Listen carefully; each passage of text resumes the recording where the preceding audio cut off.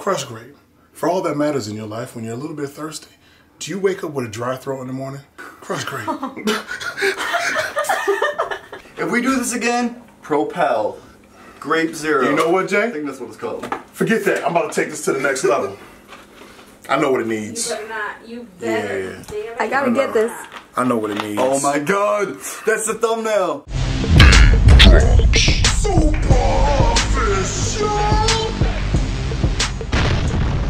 You know what?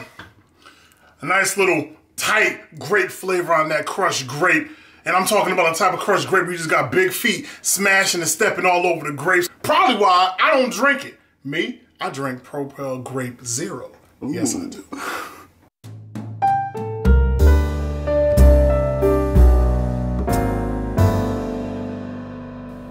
Well, it's all the taste should be the same except for the fact that it's not frozen. So Here it is. well, I'm always part of science experiments. I have no idea, but you know what? For YouTube, I got you. The food titan, I got you.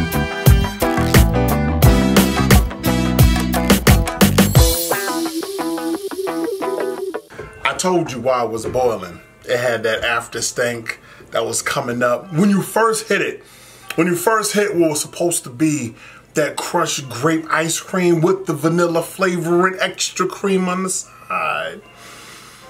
It was creamy. And that crushed grape flavor came through strong.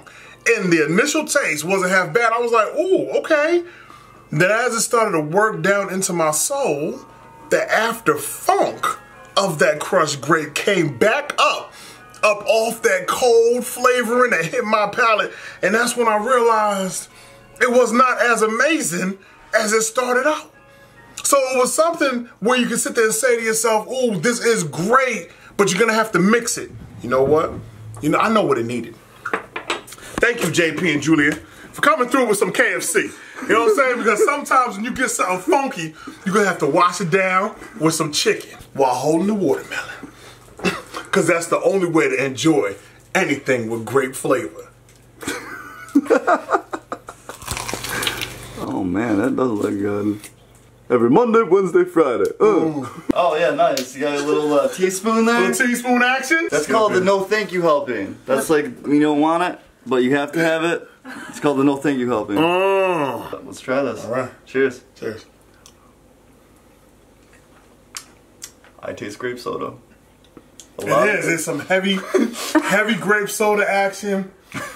Oh man, the way that vanilla ice cream comes screeching through is, oh, that that's that's some good stuff. You know what it reminds me of? It reminds me of this. I'm gonna put it simple. The vanilla ice cream makes it taste good, and the grape soda makes it not taste as good. So it's the vanilla ice cream is just like, come on, I'm coming Fighting in there, through? I'm fighting through to make you taste good, and then that grape soda keeps smacking you back in the face, and then of course giving you that uh, at the end. But you know what? You could actually take this back to your childhood.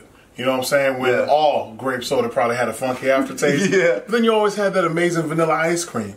And then at the end of the day, it all made sense when you blended the two together. Now, if we're going off and basing this on our childhood flavors, mm-hmm. that's a five all day, Jay. yeah. But if we're basing it off 2016, it needs a little bit of help. You know what I'm saying? Vanilla ice cream is definitely a great look. Crushed grape soda, it is what it is, but it adds a nice little tartness to that vanilla bean action happening for your face and your taste buds. Each and every single bite of delight is going to give you a nice little fizz. And that's what time it is. Yeah. Rocking out with the greatest right now, you know what I'm saying? JP, a HellthyJunkfood, your main man, Daym Drops, Mr. Super Official, Food Titan himself. YouTube, this is how it goes down. Uh. Now I'm You gotta curious. try some. You gotta, you gotta try some, don't be a hater.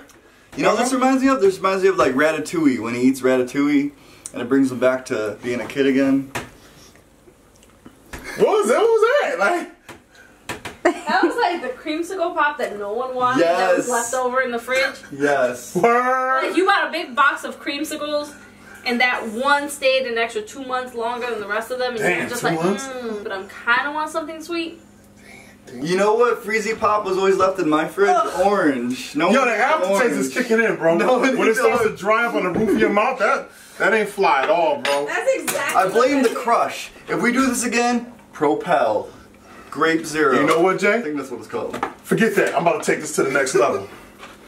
I know what it You needs. better not. You better. Yeah. Damn I gotta get this. I know what it needs. Oh my god, that's the thumbnail. I know. Oh, what wait, it wait, needs. yeah, hold that. I know what it needs. Go for Hilarious, light, go for the light. This is for science. This is for science. Oh no. This is for science. We do a lot of things for science on HellthyJunkfood. Damn, this is nasty. Oh, I thought you liked it. Oh, that was so good. Five all day.